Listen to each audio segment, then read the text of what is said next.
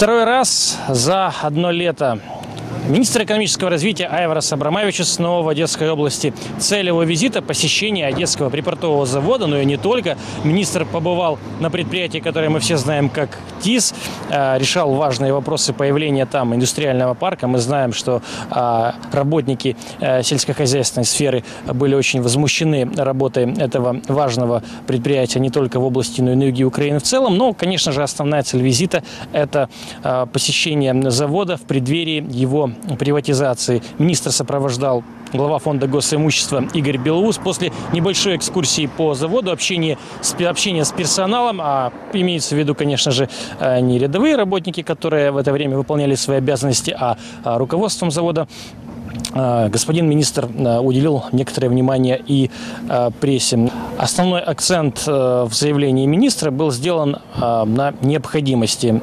приватизации завода в нынешнее время. Кстати, мы обратили внимание на то, что Айварас Абрамовичус не стал включать Одесский припортовый завод в списки стратегических предприятий. Слово министру. Конечно, как и я, так и коллектив, принципе, ожидает, что все-таки приход Э, знаменитого иностранного стратегического инвестора, это, конечно, предположительный вариант, потому что мы уже видели, к сожалению, э, на протяжении последних 25 лет, когда местные инвесторы все-таки не развивают такие предприятия, не создают добавленную стоимость, и в итоге предприятие теряет конкурентное преимущество по сравнению с похожими предприятиями за границей. Поэтому здесь успех Э, тоже приватизационного процесса э, будет обязательно зависеть от того, кто будет покупателем первых больших стратегических объектов э, в нашей стране. То есть стратегически имеется в виду по, по, по размерам, не по стратегической важности для страны, потому что это предприятие не является таким, которое государство должно в долгосрочной перспективе сохранить. Э, это предприятие является таким, который частный инвестор должен развивать э, более успешно и так дальше. Министерство экономики помогает фонду Держмайна в приватизационном процессе, но они исполнители. Мы, конечно, даем э, советы. Наши советы при министерстве тоже этим занимаются. 250 гектар площадь занимает уникальный завод, который является гордостью Одесской области, гордостью Украины. Порядка миллиона тонн в год Одесский припортовый завод производит эм, аммиака. Еще 3 миллиона тонн аммиака, которые сюда поступают морем и железной дорогой, экспортируются. В общем, вопросов государству э, немало, почему именно этот завод уходит под продажу, будет э, отдан с молотка уже в ближайшем ноябре, в декабре. Но у главы фонда госимущества есть свои аргументы по этому поводу.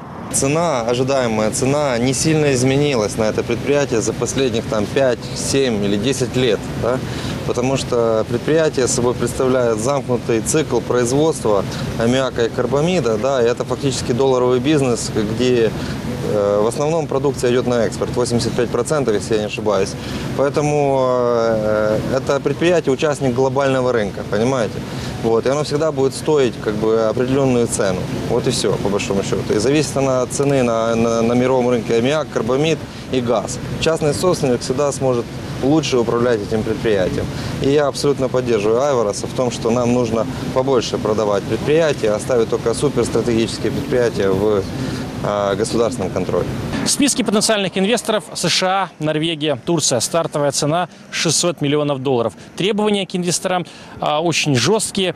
Это сохранение кадрового состава, сохранение а, направленности завода, то есть он не может завтра производить кастрюли и автомобили «Запорожец», ну и, естественно, сохранение социального фактора. Все социальные как бы основные Потребности кадрового персонала должны быть удовлетворены.